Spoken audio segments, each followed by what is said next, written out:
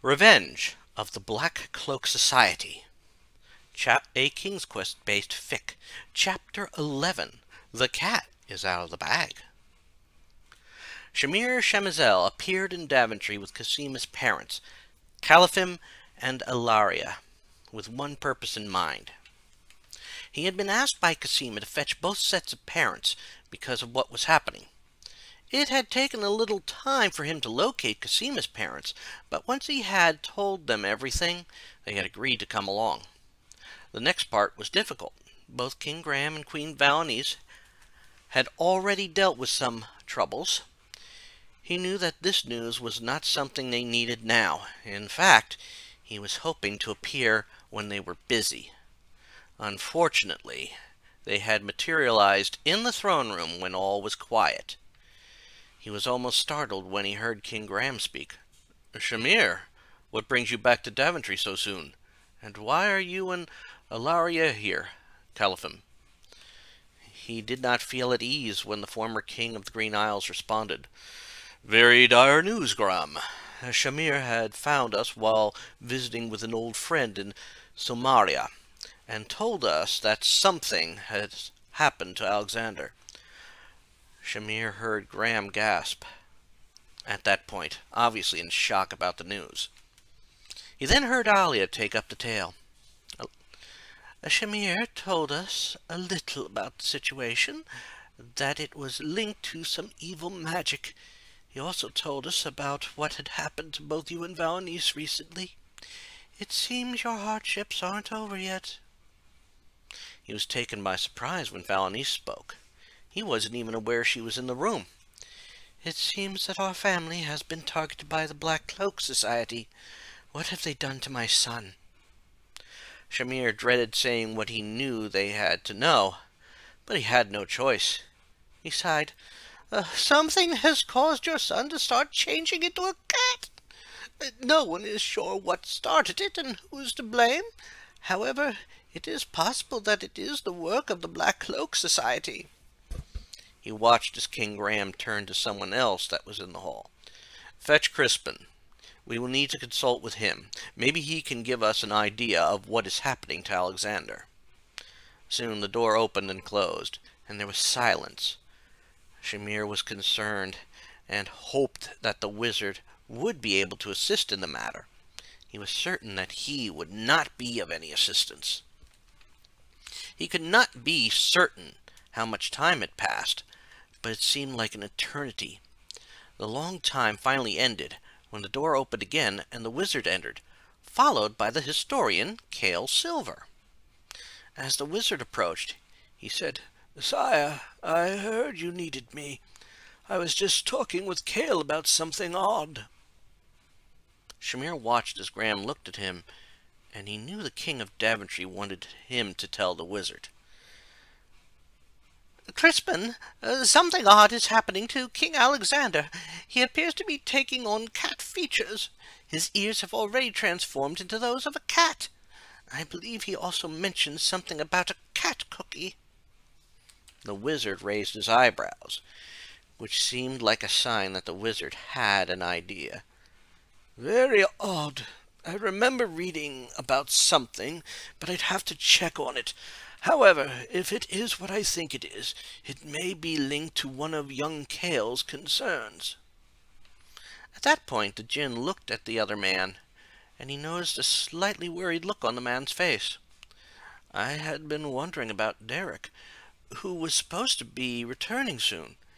It's not that I have not appreciated your kindness, Shamir noticed. The man was now facing King Graham. However, I should soon continue on my journey, unless you are still in need of my services. For a brief moment, Shamir wondered if there was more to the man's statement, but he put that thought out of his head for now. There was a more important matter at hand.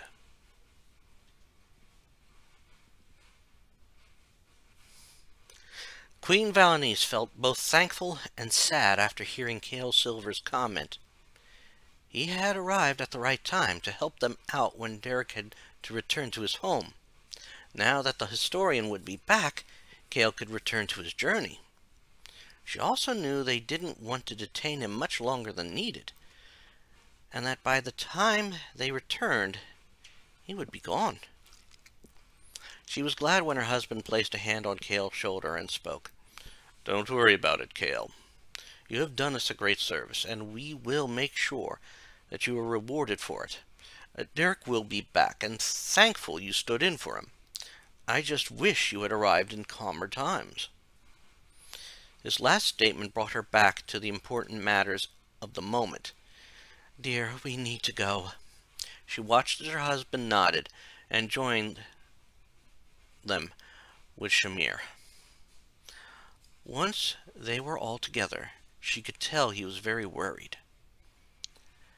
It was the same way she was feeling, especially with what had happened already in Daventry and Kalima. Each time, a member of the Black Cloak Society was behind it. Were they now focusing on the Green Isles? All of a sudden, she and the others were teleported. Unlike the time they were teleported to Kalima, where dark magic barriers caused difficulties, the trip to the Green Isles felt like a smooth transition. There was apparently no dark magic surrounding the Green Isles.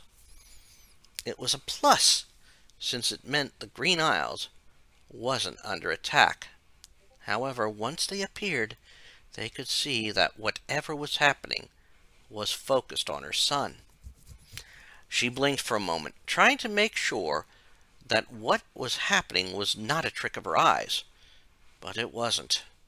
Her son was taking on cat-like features.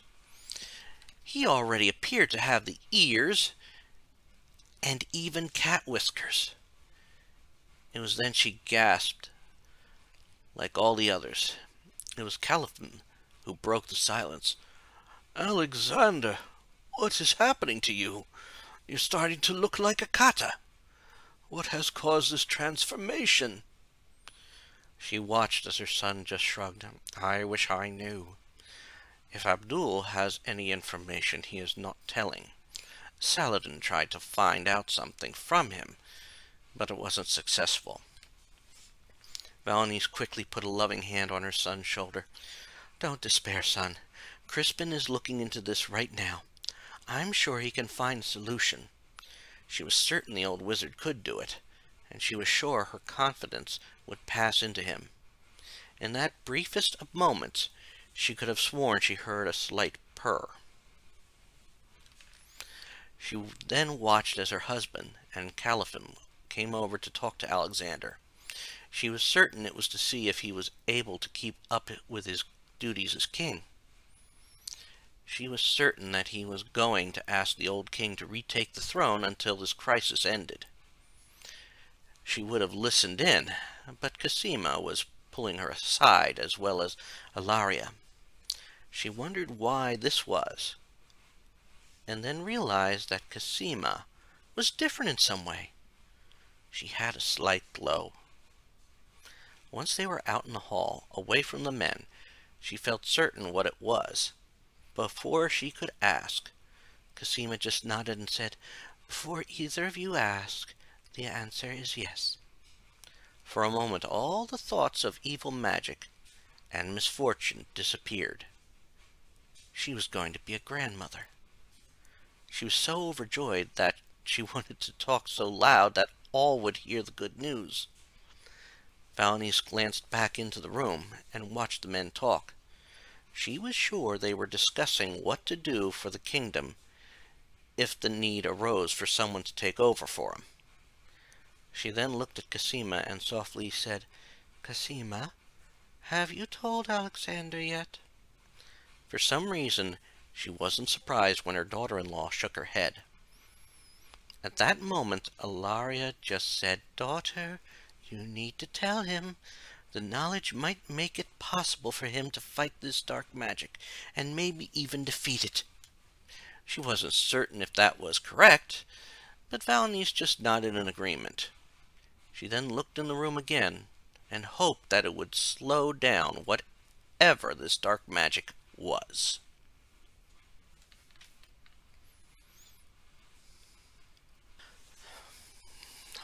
Manannan returned to his study after he was sure his home had been purged of the person who had taken over his home.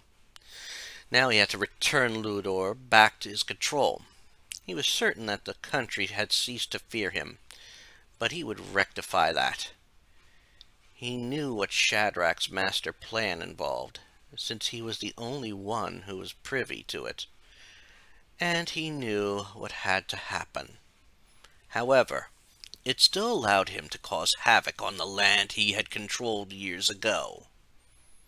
His first order of business was to contact the Gorgons. He was aware that one of them had been defeated years ago by Alexander. From what he could figure, since he hadn't seen what had happened, Alexander must have used a mirror to reflect her gaze back at her. Even a Gorgon could not survive their own gaze when they activated it. Luckily, the gaze could not penetrate magical visions. He quickly conjured an image of the Gorgon's lair, noticing the number of Gorgons had not changed, meaning that a new one had joined their ranks. He waited a moment until one of them noticed his image. He was certain it was the eldest of the Gorgons when she addressed him. Manannan, you've returned. Have you heard of what that whelp did to our sister? You need to have better control of those slave boys. He held up his hand.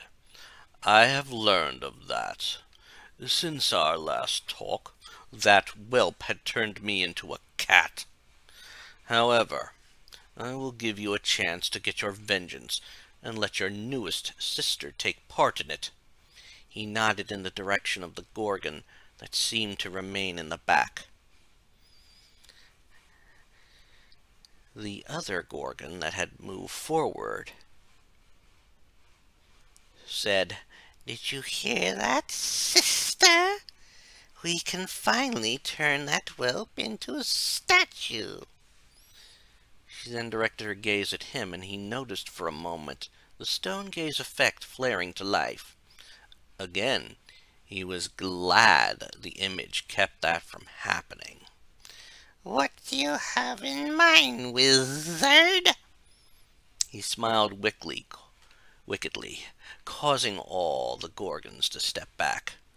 Gorgons were aware he was a member of the Black Cloak Society and had great powers. My plan is simple.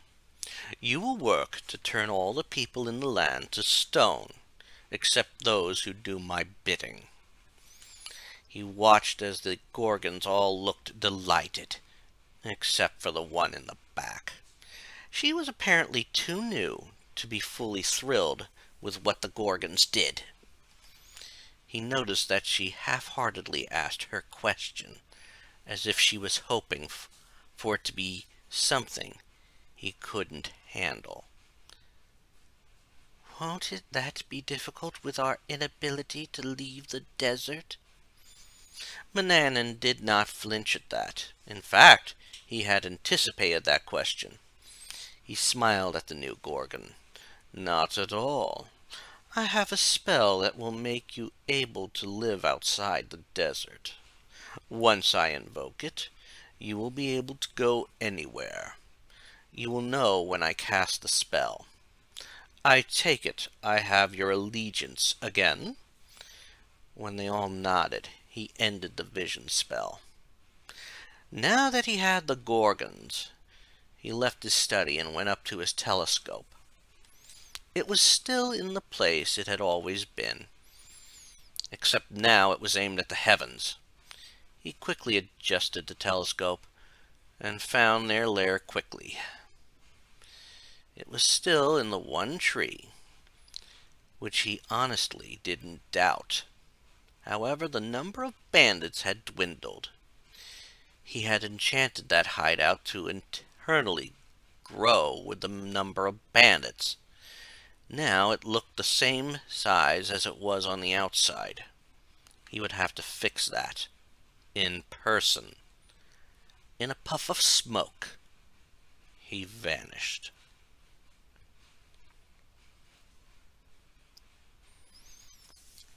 Victor, The lead bandit in Llewdor was not happy.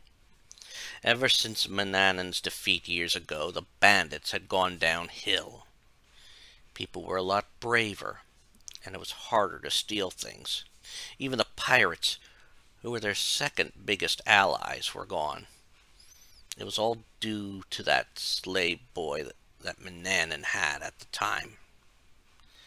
He was the one who had ruined it all. He looked at the rest of the bandits, both of them, and sighed. Men, we need to go on the offensive. The people of Port Bruce need to be reminded that we should be the ones in charge of the town. He noticed the men nodding in agreement and tried to continue. We need to remind them that we are the ones who call the shots since a huge ball of smoke appeared in the lair, causing him to stagger back. When the smoke cleared, Victor was stunned to see the wizard, Manannan, standing there. He could not believe his eyes until the wizard spoke. I see your group has shrunk in numbers since my exile. Victor wasn't sure if he should bow, beg, or run. Since last he heard, Manannan was now a cat. He decided to get on his knees and said, Yes, sir. People don't fear the bandits like they used to. Now that you're back, we can return to the way things were. He could tell the wizard was happy with his pleading.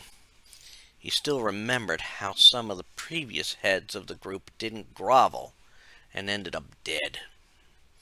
He remained in that position as the wizard looked around. Your group of bandits seems almost non-existent. Is it the same with the pirates? He hated to do it, but he nodded. Yes, the pirates are no longer coming to Port Bruce. It has been a sad day for all of us when you disappeared. I hope your return means a return to the way things were. Victor's spirits rose when the wizard gave a wicked smile. Indeed it does. And you will have new allies. The Gorgons of the desert will be attacking Port Bruce. For a moment he wondered if the wizard was joking. Do not worry. I will give you all protection. As long as you don't betray me, you will not be turned to stone we will get unlimited access to the wealth in Port Bruce and any other dwelling in the land. Victor could tell the others were happy about that. They could finally get back to the way things were. The bandits would have the wealth and respect they had before. Things would go back to normal. However, a quick glance made him wonder if the wizard was hiding something. He knew this had to be expected. But he knew better than to question the wizard. Finally, he nodded. We'll begin planning now. When the Gorgons move, we'll move. Once the words were said, the wizard smiled and disappeared in a puff of smoke. He then looked at the others, and quickly they moved to the lone table in their lair, and started plotting where each one of them would strike. For the first time in many years, Victor felt the bandits would return to power in Llewdor.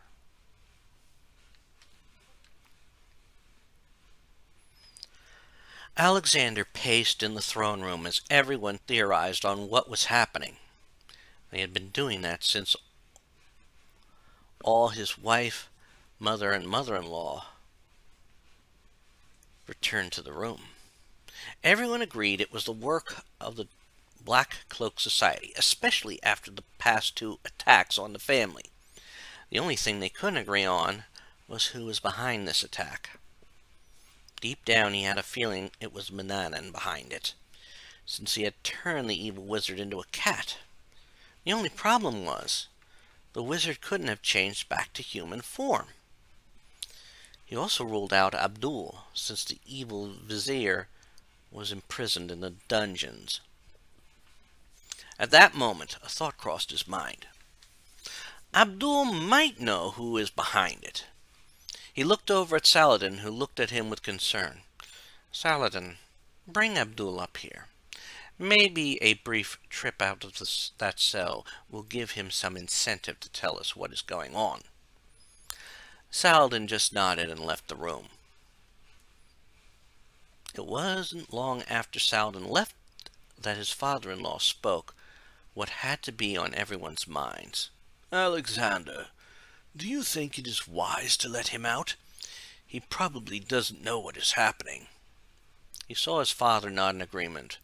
He is right, son. Something tells me that this is the work of someone very high up in the Black Cloak Society. Most likely the same one who revived Dahlia.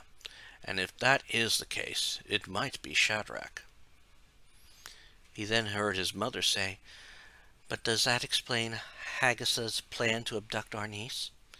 She wasn't defeated like Dahlia had been, or like other members of the Black Cloak Society that our family has defeated. It is almost as if there is a war going on between this group and us. He wasn't about to disagree with that. It did seem like the Black Cloak Society was purposely targeting the royal family of Daventry.